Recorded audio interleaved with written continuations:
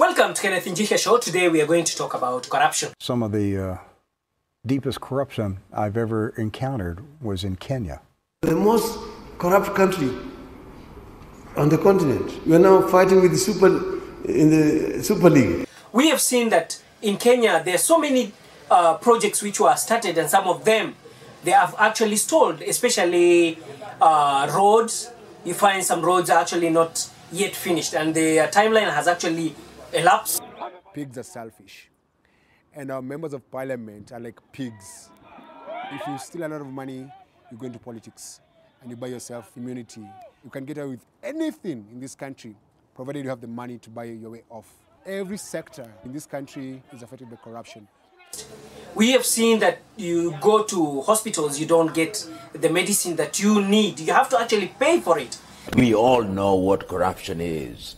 If you are traveling on the road and you give money to a police officer to avoid prosecution, that is petty corruption.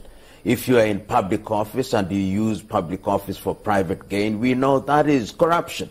Now, it's becoming a bit uh, disgusting because you see corruption has actually uh, taken root and it's becoming serious because we have seen that even some of the government government leaders are actually looting a lot of money.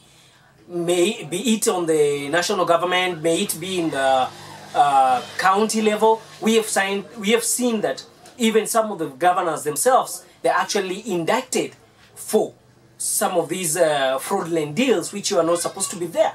Uh, come to uh, corruption on health matters especially when we had this issue with the coronavirus you find that there are some people who have actually looted that money which was supposed or which was meant to help a local mwananchi. So we ask as kenyans are we part of the problem or our leaders are the ones who are part of the problem? And how are we going to deal with this? Because it's actually getting out of hand agree with 74% of Kenyans listen, who say corruption has gone look, up on your I'm government's watch. To, I'm not going to talk about the percentages. I'll tell you this. I'm not asking right? you to talk about the percentages. I'm, I'm asking tell whether you agree there with the no, majority of There Kenyans. is no, there is no country today, as we speak, Yeah.